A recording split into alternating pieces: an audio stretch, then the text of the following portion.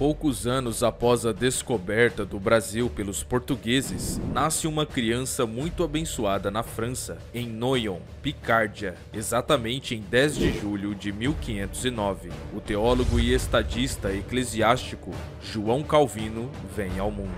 Mais tarde, esse menino seria o principal reformador protestante francês e a figura mais importante da segunda geração da reforma protestante.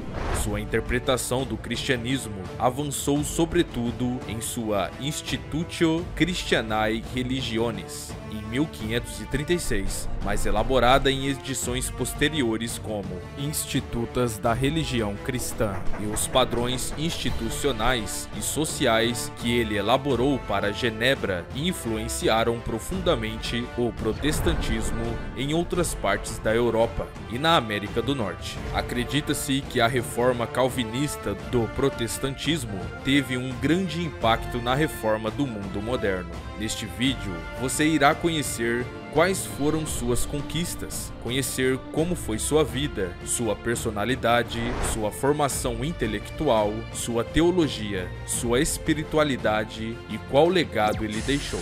Então, no vídeo de hoje falaremos sobre a história de João Calvino. Meu nome é Lucas Dário e sejam bem-vindos ao Testemunhando Jesus Cristo.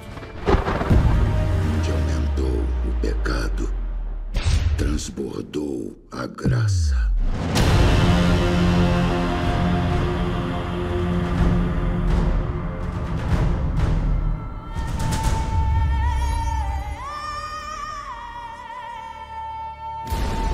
Paz amados, peço a ajuda de todos vocês para se inscreverem no canal e ativar o sininho de notificações. Se vocês gostarem do vídeo, deixe aquele like que me ajuda demais a produzir mais vídeos. Sem mais delongas, vamos pro vídeo.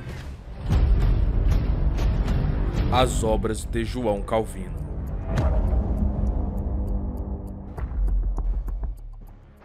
Calvino era de pais de classe média. Seu pai era um administrador leigo a serviço do bispo local. O enviou à Universidade de Paris em 1523 para ser educado para o sacerdócio, mas depois decidiu que ele deveria ser advogado.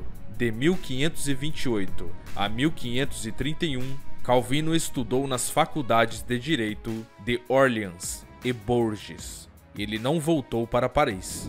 Durante esses anos, ele também foi exposto ao renascimento humanismo, influenciado por Erasmo e Jacques Lefebvre que continuaria o movimento estudantil radical da época. Este movimento que antecede a reforma visava reformar a igreja e a sociedade no modelo da antiguidade clássica e cristã, a ser estabelecida por um retorno à Bíblia. Estudada em suas línguas originais, deixou uma marca indelével em Calvino. Sob sua influência, ele estudou grego e hebraico, bem como latim, as três línguas do antigo discurso cristão, em preparação para um estudo sério das Escrituras. Também intensificou seu interesse pelos clássicos. Sua primeira publicação em 1532 foi um documentário ao ensaio de Sêneca sobre clemência, mas o movimento, acima de tudo, enfatizava a salvação dos indivíduos pela graça, em vez de boas obras e cerimônias. Os anos de Calvino em Paris chegaram a um fim abrupto no final de 1533. Como o governo se tornou menos tolerante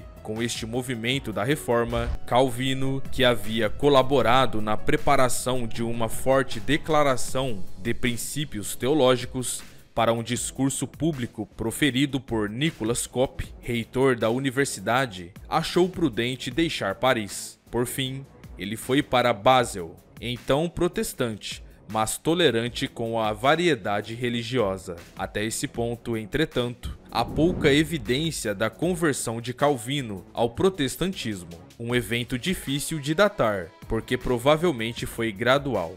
Suas crenças antes de uma fuga para a Suíça provavelmente não eram incompatíveis com a ortodoxia católica romana, mas eles sofreram uma mudança quando ele começou a estudar teologia intensivamente em Basel, provavelmente em parte para esclarecer suas próprias crenças ele começou a escrever. Ele começou com um prefácio para uma tradução francesa da Bíblia, por seu primo Pierre Olivetan, e então empreendeu o que se tornou a primeira edição das Institutas, sua obra-prima, que em suas sucessivas revisões tornou-se a declaração mais importante da crença protestante. Calvino publicou edições posteriores, tanto em latim quanto em francês, contendo ensinamentos elaborados e, em alguns casos, revisados e respostas a seus críticos. As versões finais apareceram em 1559 e 1560. As institutas também refletiam as descobertas dos maciços comentários bíblicos de Calvino,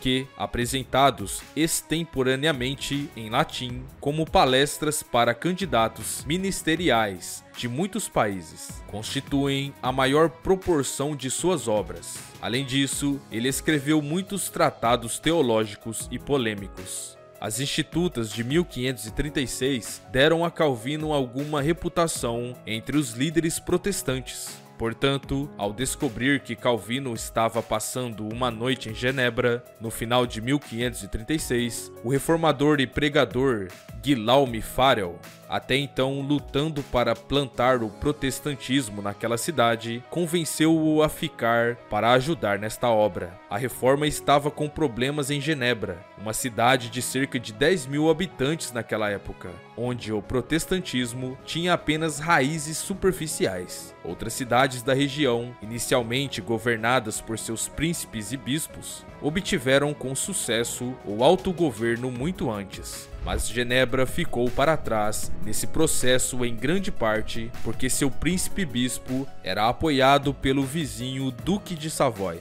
Houve tumultos iconoclastas em Genebra em meados da década de 1520 mas estes tinham fundamentos teológicos insignificantes. O protestantismo havia sido imposto a Genebra, ainda não despertada religiosamente, principalmente como o preço da ajuda militar da Berna protestante o limitado entusiasmo de Genebra pelo protestantismo, refletido por uma resistência à reforma religiosa e moral, continuou quase até a morte de Calvino. A resistência era ainda mais séria porque o conselho da cidade de Genebra, como em outras cidades protestantes, exercia o controle final sobre a igreja e os ministros, todos refugiados franceses. A questão principal era o direito de excomunhão, que os ministros consideravam essencialmente a sua autoridade, mas que o concílio se recusava a conceder.